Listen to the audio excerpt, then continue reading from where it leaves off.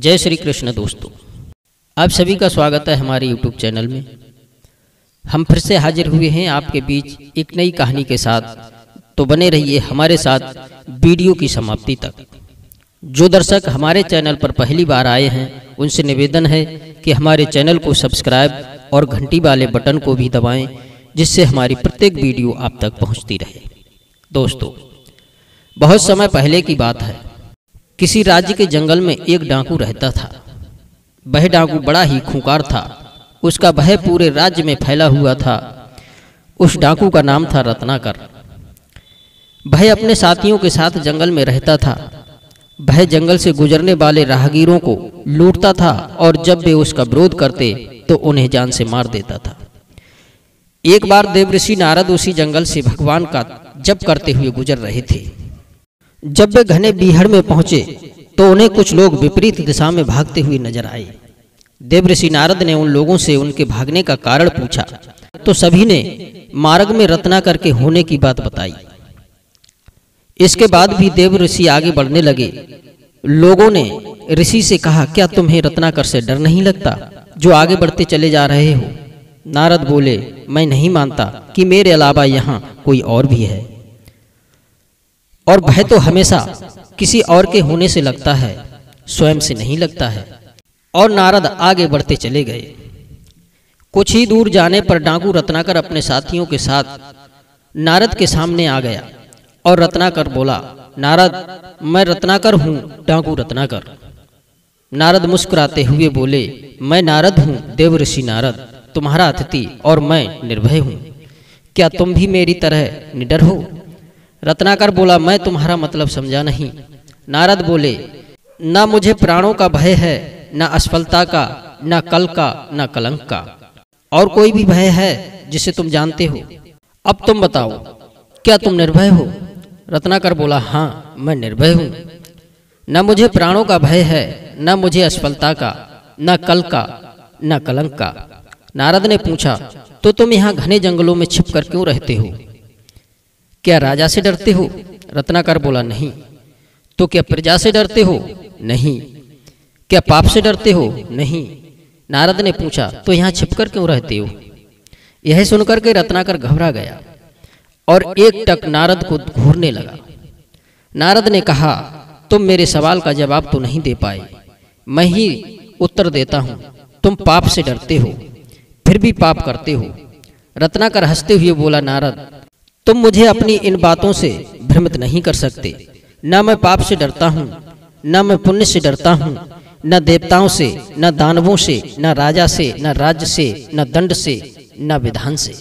मैंने राज्य के साथ द्रोह किया है, मैंने समाज के साथ द्रोह किया है, इसलिए मैं यहाँ इन बिहड़ों में रहता हूँ।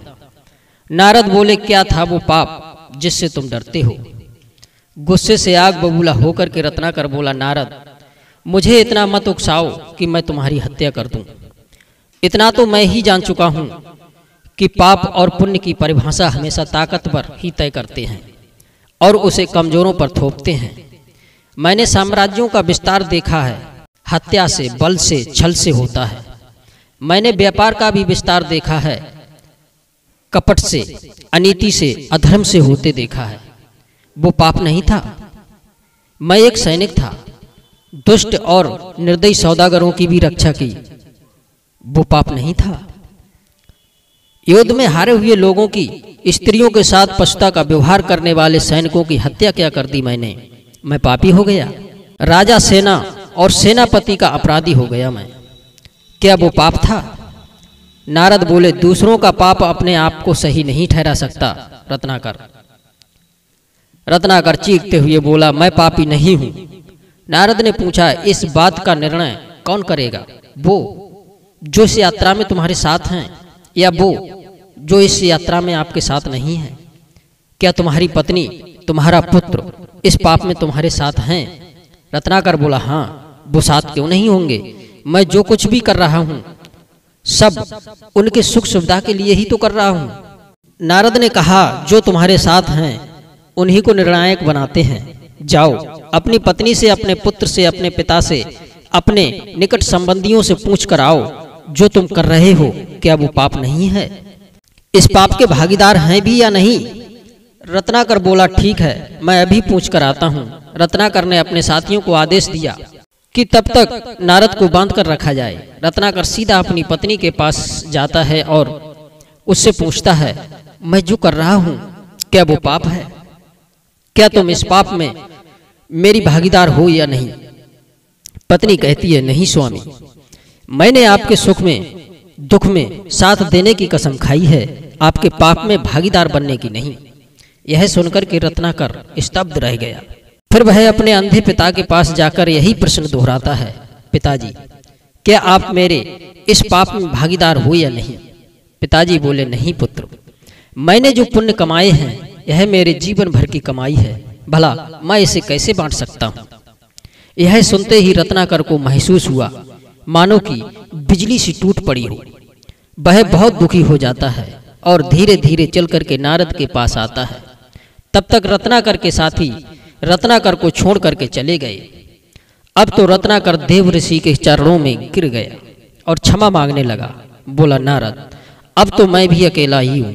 रत्नाकर को समझाते हुए नारद बोले, नहीं रत्नाकर तुम अकेले नहीं हो। तुम ही अपने मित्र हो और तुम ही अपने शत्रु हो। जिन्हें तुम अपना साथी समझ रहे थे, वो सब झूठे हैं। सच्चे मित्र तो तुम खुद ही हो। तुम्हारे पुराने संसार की रचना भी तुम ही ने की थी और अपने नए संसार की रचना भी तुम ही करोगे। इसलिए उठो और अपने पुरुषार्थ से अपना भविष्य लिखो। राम राम तुम्हारा पथ सुबह होगा।